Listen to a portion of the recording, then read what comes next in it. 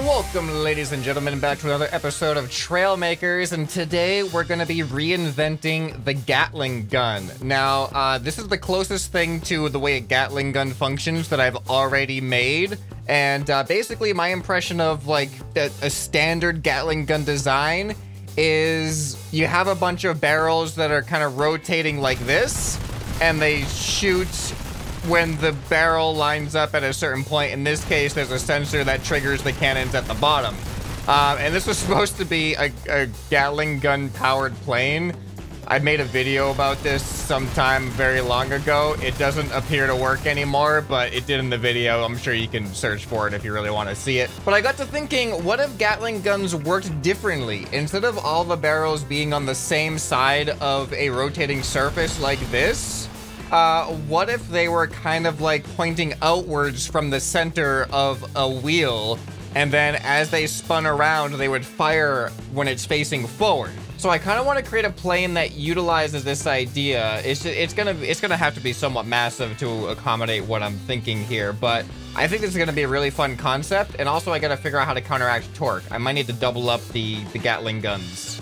All right, so to build this, first let's make a conceptual prototype. I'm not to be focusing on the plane right now. I'm just to be focusing on the actual gun itself. So I'm just to build something that anchors into the ground. I think I'm to use rotating servos to start off with because they'll probably rotate at a constant rate. All right, so as far as the cannons go, this is where things are to get interesting. I'm to want uh, some type of thing here to make it 45 degrees. All right, whatever I just did there, I think it works. I just realized this is probably also going to be an aerodynamic nightmare.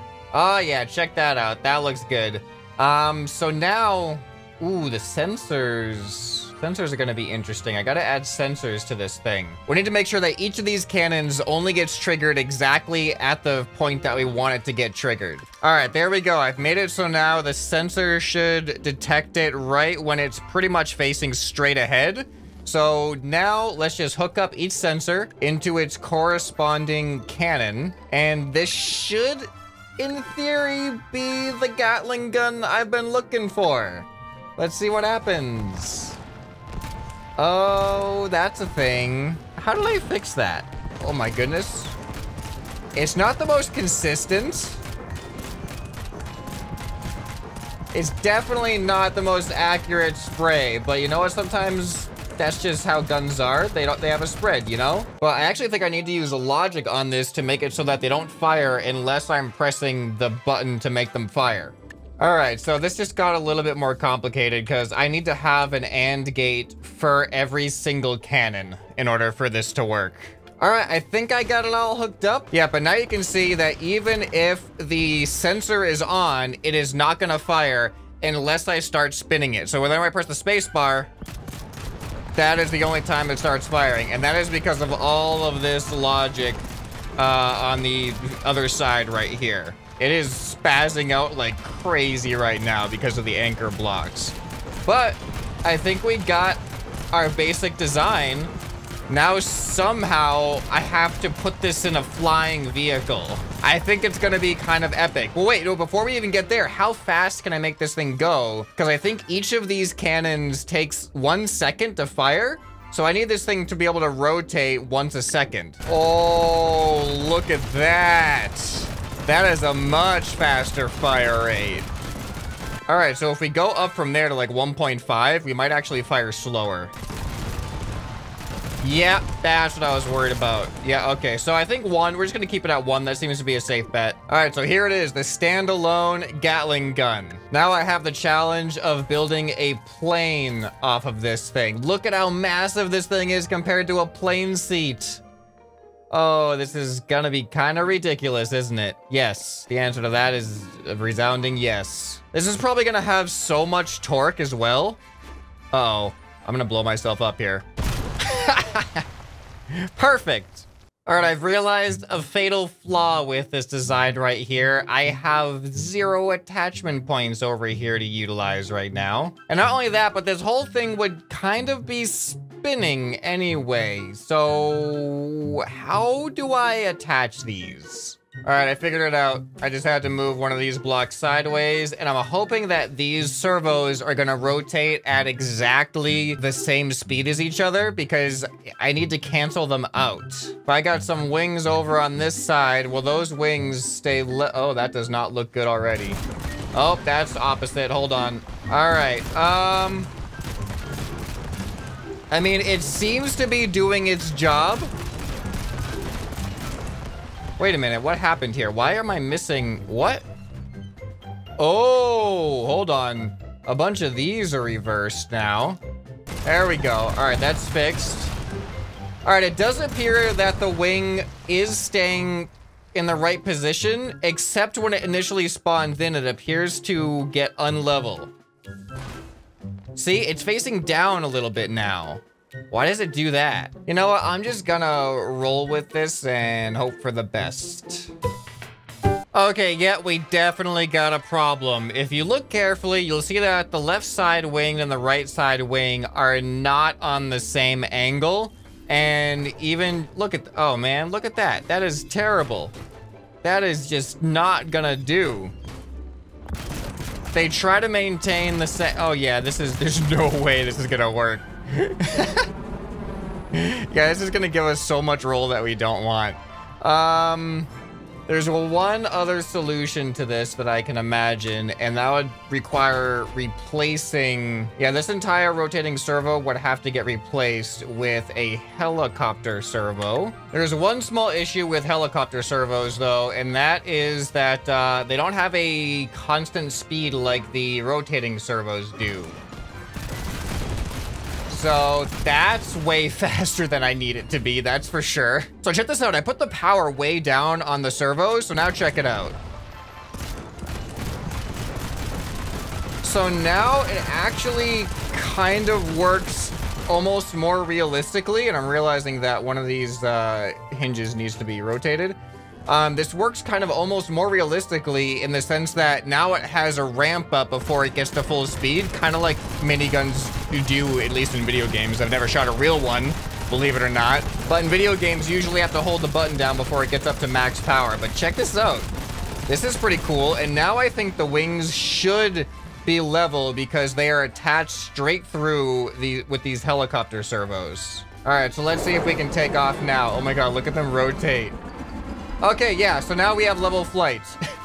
uh, when it comes to roll, obviously pitch is, is non-existent right now. All right, here we go. I've got the tail put on. We've got our control surfaces. So now let us see if this thing is capable of flying. The maiden voyage. Oh no. Oh, that's a bad start. Okay, we're good now. We're good now. Um, wow. There's actually a lot more lift in the front than I thought there was gonna be. I put extra wings in the front than I normally would have because I thought the cannons were going to be super heavy. All right, well, let's uh, fire up the cannons, even though I've really got to adjust how this thing flies. I mean, I have my controls. All of this does work pretty well. Uh, but let's see if the cannons actually work. Here we go. Um, oh my goodness. They take a while to get.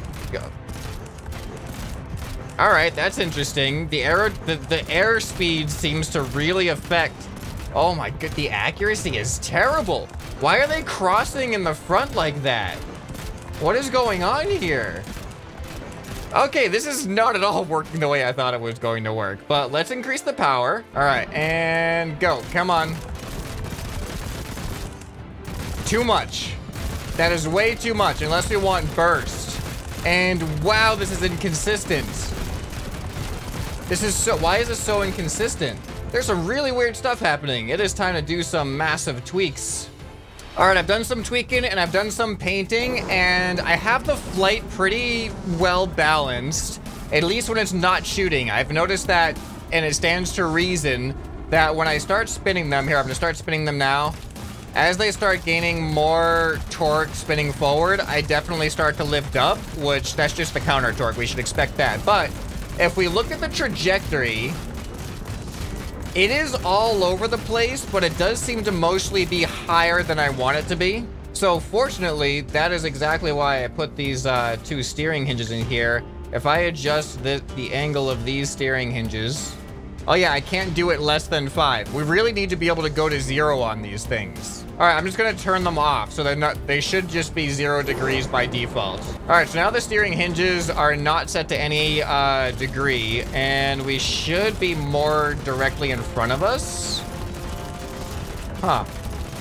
Some of them do. Some of them fire directly straight ahead. Some of them fire up still. Up a lot, surprisingly. Here, let's go into first person or top of seat. Actually, that's not too bad. Oh my goodness. What?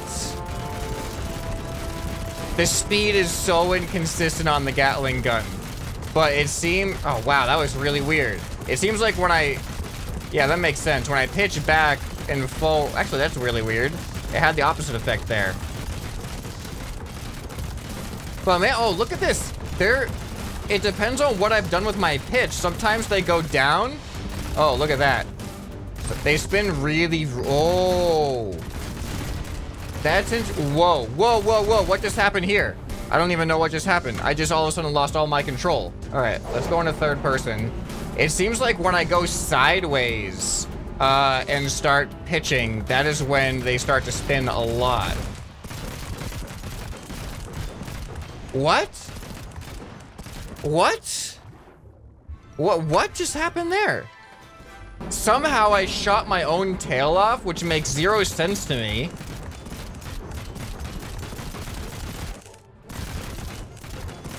Yeah, wow, it really doesn't like it when I turn my plane sideways.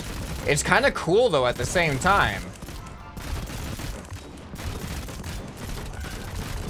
The sporadic nature of it actually kind of makes it feel more intimidating. Even though it would be a little bit annoying to control, but when I'm going nice and level, it's really consistent. It keeps a consistent fire rate.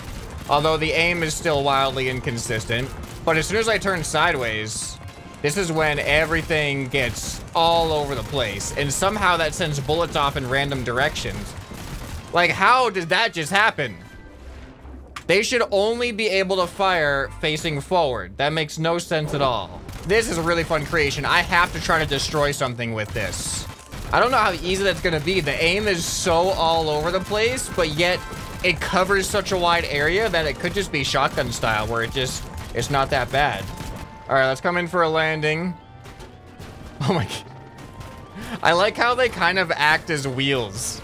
See, that is the benefit of reinventing the Gatling gun, because now not only is it a Gatling gun, but it can also be used as landing gear. Multifunctional. All right, I am gonna tweak it a little bit. I think one thing I need to do is actually make this a bit longer. I think the tail is too close to the front of the plane. All right, so I've tweaked and fine-tuned it one final time, and I think I'm ready to try to rain down destruction on, uh, this is from the multiplayer BattleBot, or not BattleBot, but Destruction Derby evolution.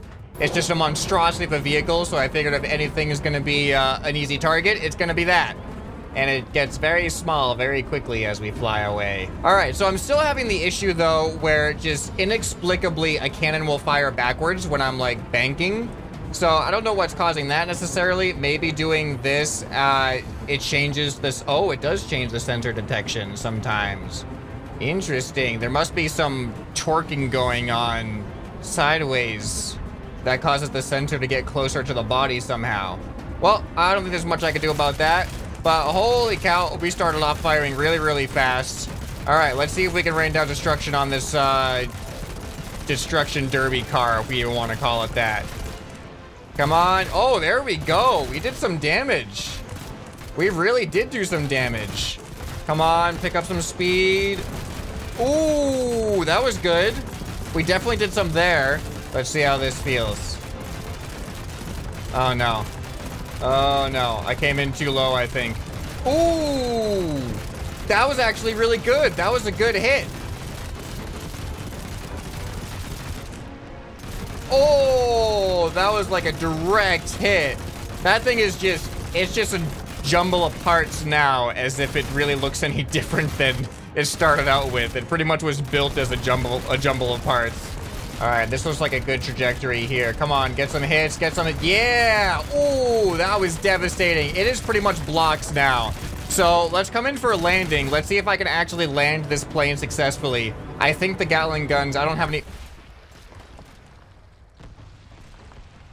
Are you serious? the chances of what just happened are so small. I stopped firing seconds ago, and somehow one of the bullets that was flying up in the air ended up landing directly on top of the plane. We slow motion replay that right now.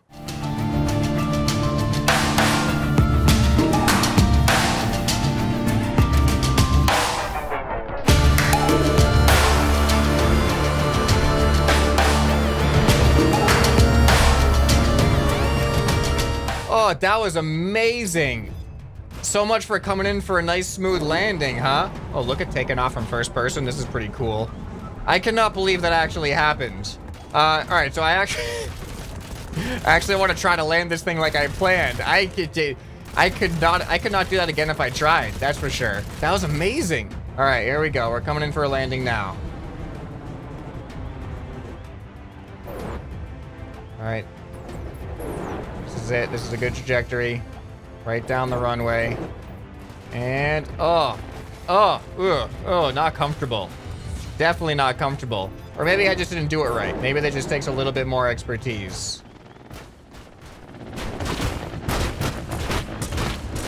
It's something. All right, well, what do you guys think of this? This is the new take on uh, Gatling gun weaponry, and it actually turned out to be pretty successful as all things considered. I'm always a big fan of unusual concepts for vehicles and weapons and things like that, if you couldn't already tell by the nature of my channel. So if you guys have any other ideas that you'd like to see me tackle in any game, really, whether it be Trailmakers or Scrap Mechanic or, I don't know, something else, leave those ideas down in the comments below, and, uh... Who knows? Maybe I'll do it in another video. Anyway, I hope you guys enjoyed this video. If you did, you'll probably enjoy some other stuff on the channel that you can find on the end screen right here. Hope this video earned your subscription. Anyway, this has been Scrapman, and I'll see you next time. Bye.